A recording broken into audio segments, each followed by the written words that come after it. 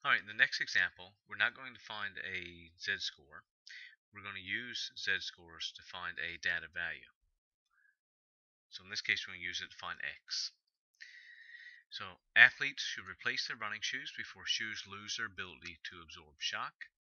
Running shoes lose their shock absorption after a mean distance of 640 kilometers and a standard deviation of 160 kilometers. And we're told Zach is an elite runner and wants to replace his shoes at a distance when only 25% of people would replace their shoes. What distance should he replace his shoes? So here we're asked to find that distance. We're not given the x value. So we're given the mu, mean, 640. We're given the standard deviation of 160 kilometers.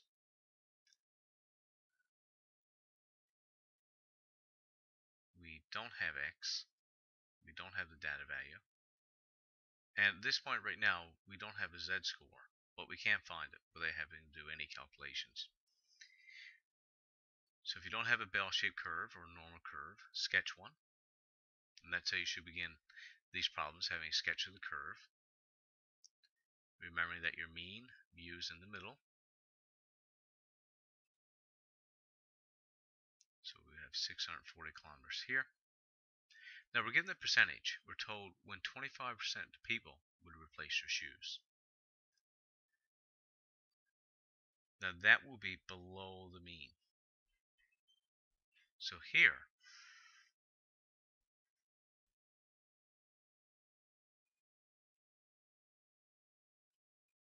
so it went up to 25% of the people. Keep in mind that the mean would represent the 50% mark.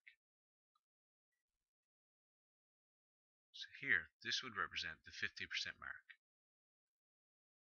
From here to there is when most people would replace their shoes at 640 kilometers.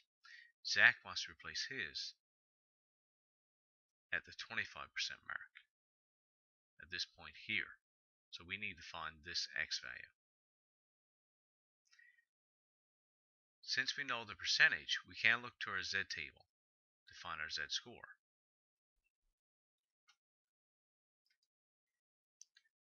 And if we look through our percentages, we're looking for, remember, 25% is 0.25. So we have 0.2266. Keep looking through and to get as close as possible 0.25. And here. So we're going to work this in reverse now. So I'm going to look back and I would have negative 0 decimal 6 and up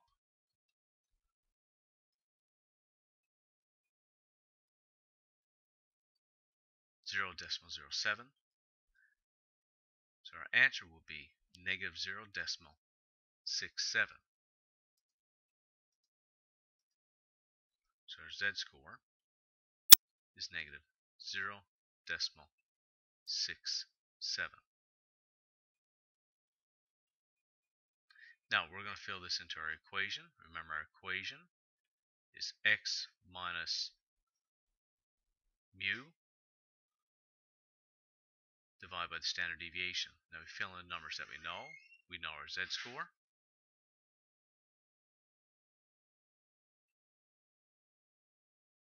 We don't know x. We know our mean. And we know mu is 160.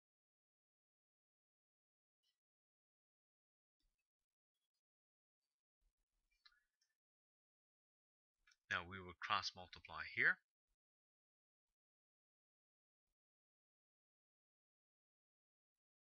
And we should get negative 108. So again, we're cross multiplying there.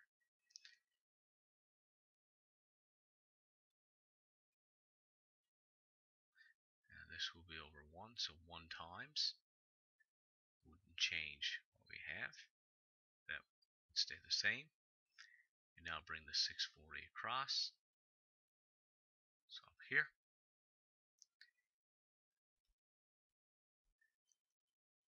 X would equal negative 108 plus 6 whoops plus 640 I'll make this look like an 8 and we will get a distance of 532 kilometers So when most people worn the shoes for 532 kilometers, that's when Zach's going to replace his. Because only 25% of the population would replace their shoes at that point.